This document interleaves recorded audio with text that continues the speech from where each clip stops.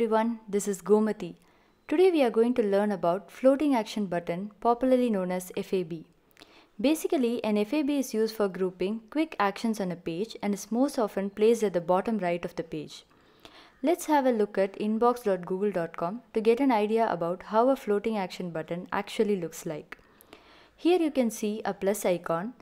When you hover on it, you get a list of options. Clicking on this compose icon will take you to compose option.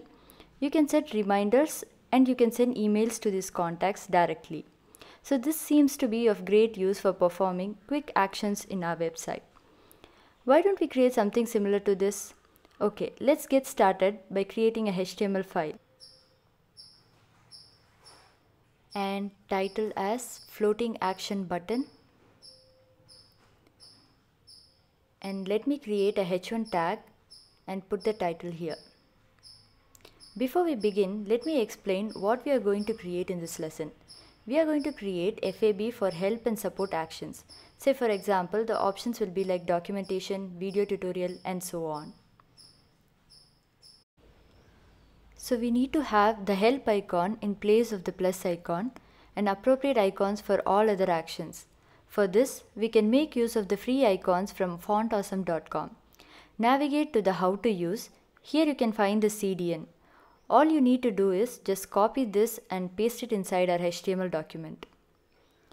Now we are going to concentrate on the layout of the FAB. Let me create a div which is going to act as container with the class fab container. We'll add styles to these classes in the later part of the video. Now we need to create a button at the bottom right. So let me create it using another div tag with class fab icon holder and an i tag with the class FAS FA question. You might wonder how did I write like this? You can just refer the Font Awesome website to learn how to use these icons. This line of code will include the icon in our page. Okay, let's check how it actually looks like in the browser. Frankly speaking, it's not at all looking good. So we need to add some CSS styles to this page. Let me create a new CSS file and I'm going to link it in our HTML document. Okay, now let's write the styles. It's always good to start with reset CSS. So for all the elements, I'm going to set margin as 0, padding as 0. For the body, I'm going to use font family as monospace and background color as F4, F4, F9. Now I want to bring this H1 tag to the center of the page. In order to achieve this, let me add some styles here. So here is the formula.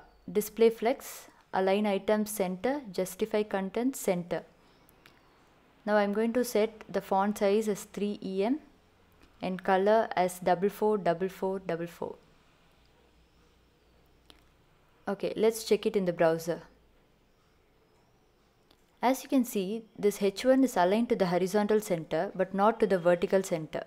Actually, it is aligned to the vertical center, but because of the H1's height, we are not able to see it. So let me set the height as 100 VH, where VH stands for viewport height. I think I have added this by mistake. Okay, let's check it. Alright. Since we want to have the fab container at the bottom right, I'm going to set the position as fixed and bottom as 50 pixel, right as 50 pixel and z index as triple nine. And I'm going to set the cursor as pointer. Now let's add some styles to the question mark icon. So fab icon holder with width as 50 pixel, height as 50 pixel. To get a circle, we need to set the border radius as 100 percentage. Background color as 016FB9. Finally, some decoration work. So box shadow as 0, 6 pixel, 20 pixel, RGBA 0, 0, 0, 0.2 and hover effect. Fab icon holder hover with opacity 0.8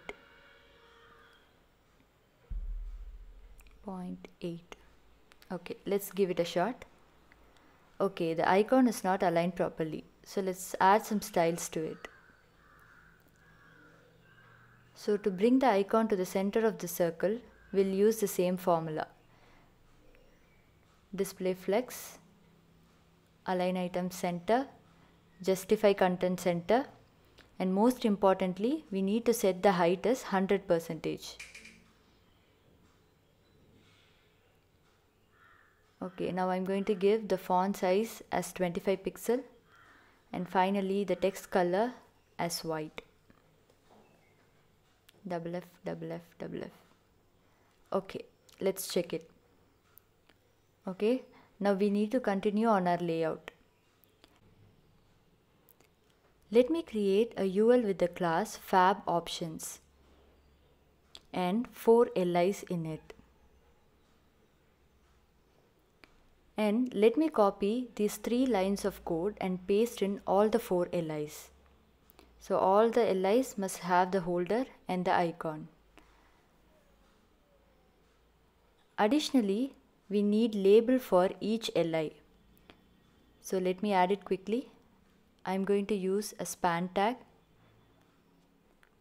with class fab label. So let me copy this and paste it here.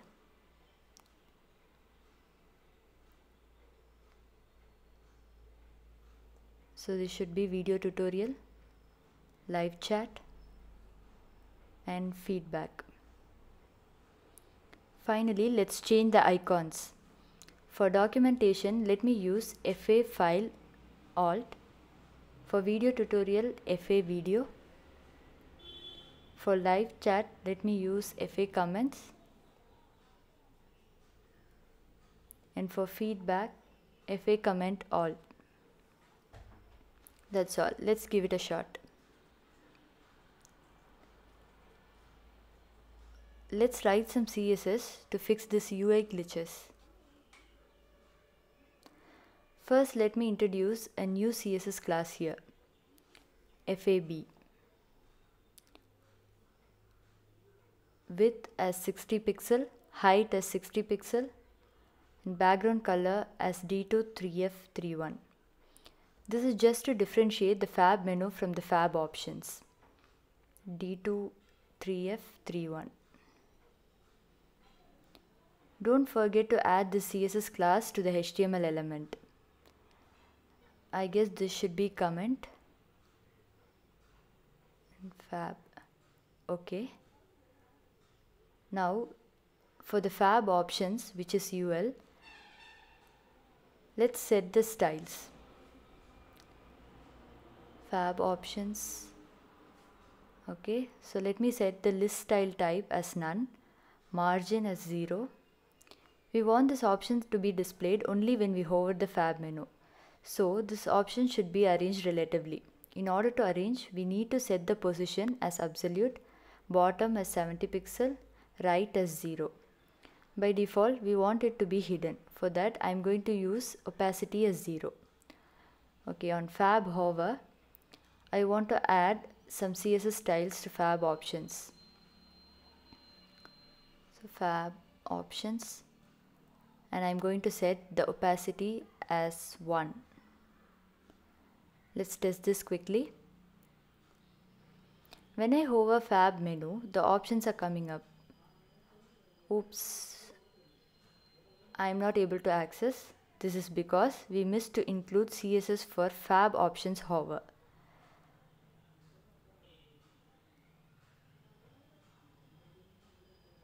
So I am going to include fab options hover Okay, now that's fixed. Button label and button are not properly aligned. In order to fix that, let me add some styles. So fab options li, display flex, justify content as flex end and padding as 5 pixel.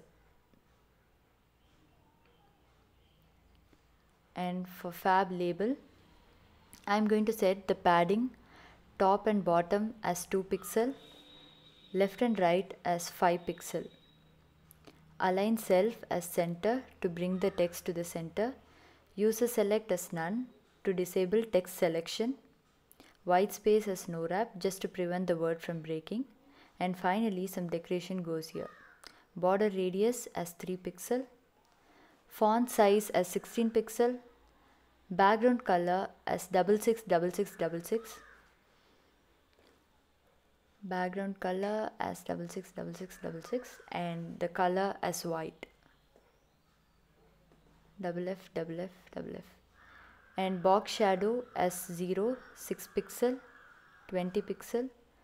Rgba 0 comma 0 comma 0 comma 0.2 and margin right as 10 pixel okay it's time to test our product. Let me hover the fab menu. Mm, I guess something has gone wrong. Let me check the code. Okay this span element must come outside the fab icon holder. So let me make the changes. I shall do the same for all the three LIs as well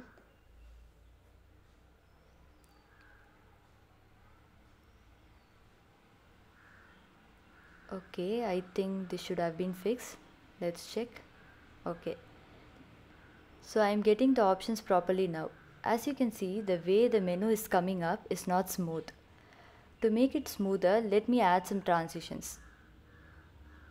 So for the fab options I'm going to add the transition property as all duration as 0.3 seconds and timing function as ease now the transform property. At the initial stage, I want to set the scale as 0 and this transform should start from the right bottom of the page. So let me set the transform origin property with x-axis as 85%, y-axis as bottom. And don't forget to reset the scale. So within hover, I am going to set the transform property as scale 1. Let's test this quickly. Now I'm getting all the fab options when I hover the fab menu. Actually, we didn't add any actions to the fab options. If the options must redirect to another page, you can use an A tag. Or if it has to perform some action within the page, you can add on-click event to the corresponding element. Okay, that's all. You have learned to create an FAB. Isn't that fabulous? If so, please do share with others and consider subscribing to the channel if not already done. Check out the video description below to download the source code. Thanks for watching. Meet you soon in the next video lesson. Take care. Bye.